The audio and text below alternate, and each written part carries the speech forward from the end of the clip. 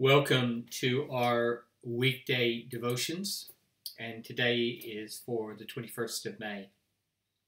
I'm bringing our look into the book of Habakkuk to a, an end today, and, and we come to some of the most famous words in the whole book of Habakkuk.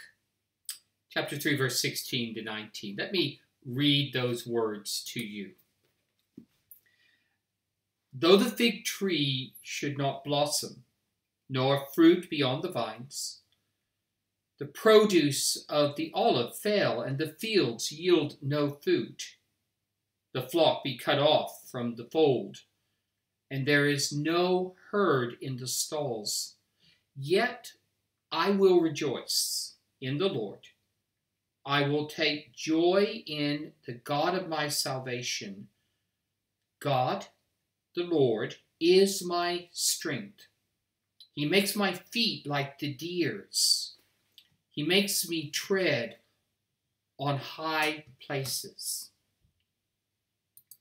It's interesting to notice that as you move through the book of Habakkuk, you, you move from his trembling frustration in chapter 1, verse 2, to trembling awe, chapter 3, verse 16.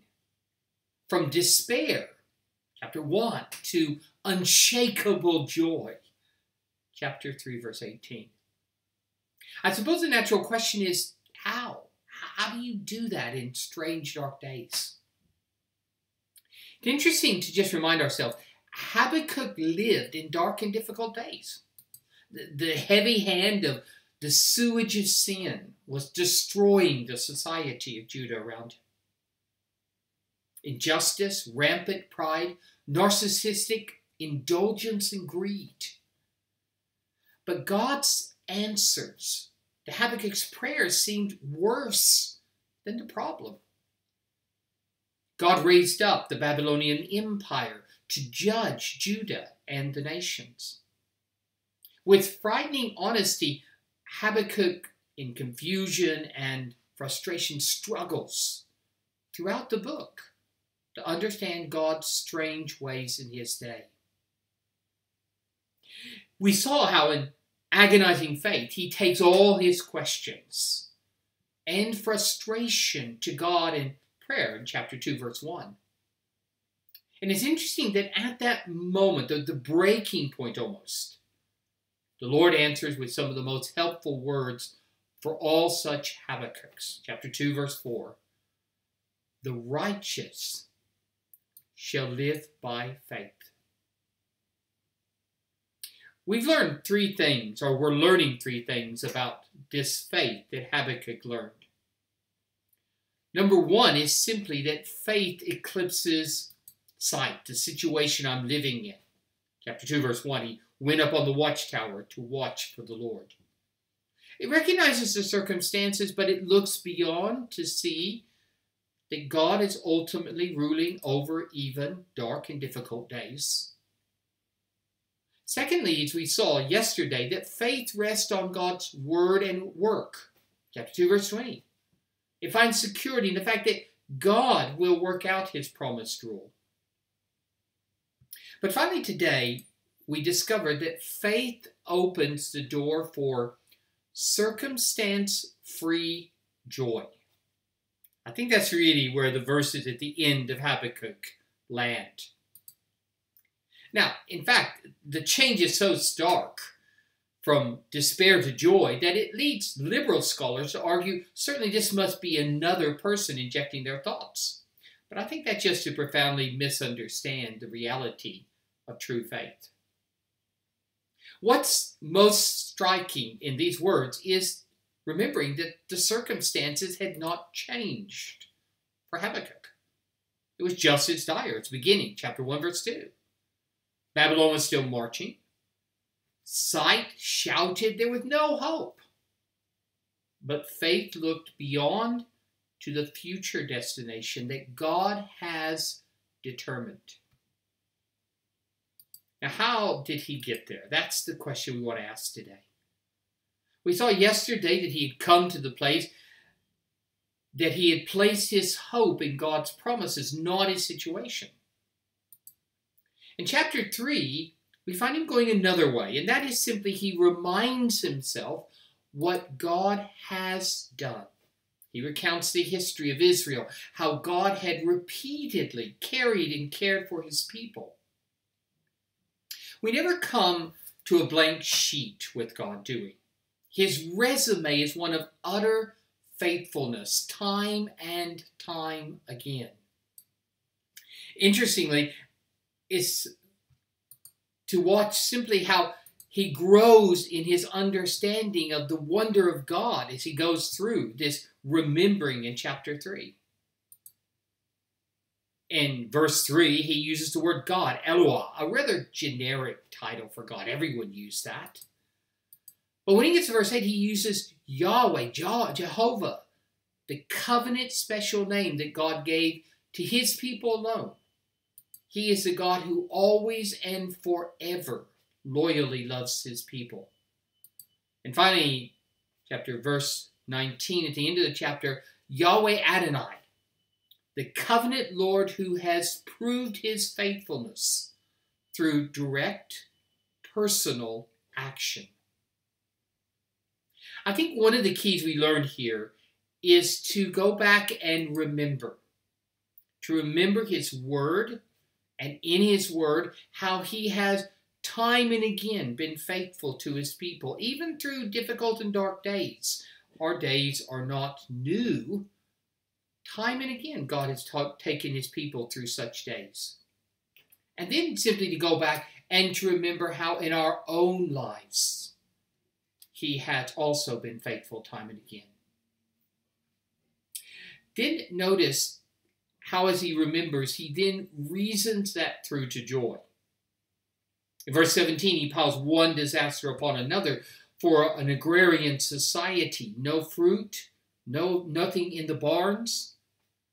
And then notice in verse 18, he reasons nevertheless, as history affirms time and again, God will keep his promises.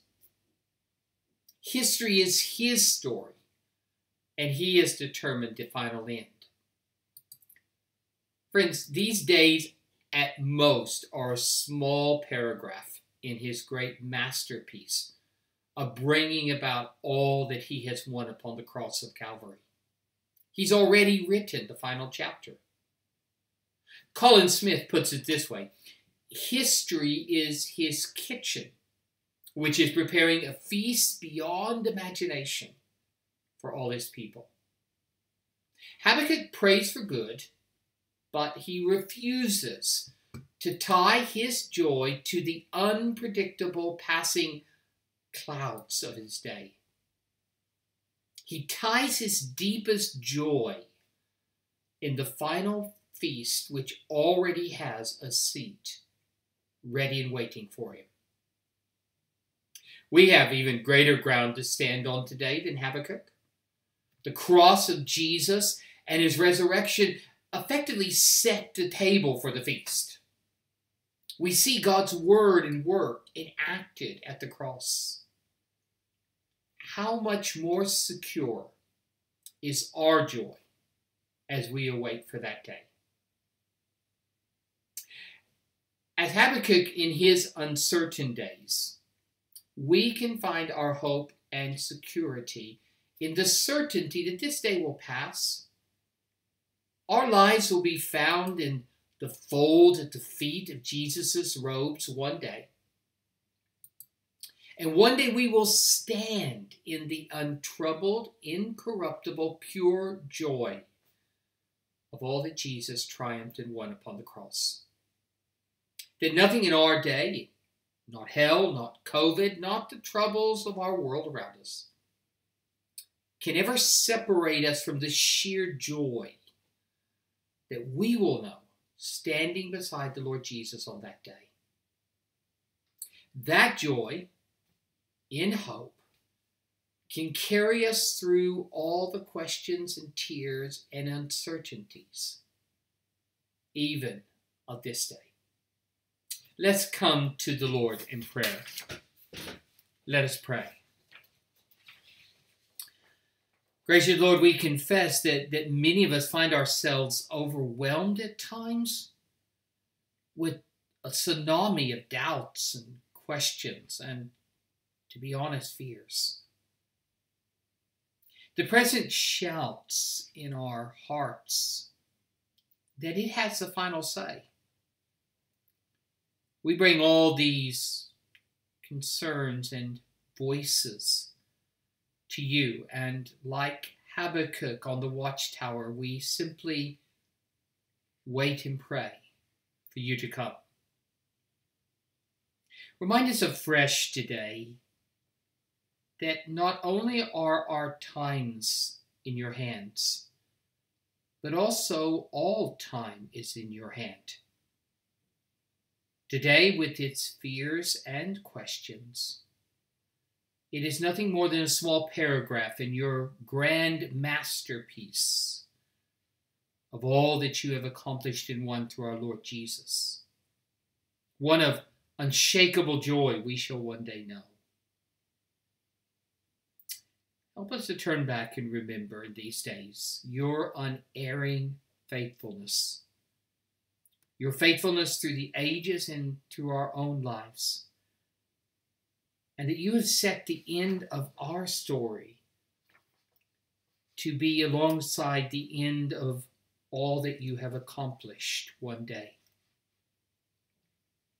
We ask for your peace for these fearful times, particularly for those who are concerned about returning to schools or to work help us remind ourselves that if we have to do these things, we are no less in your hands then than we are right now.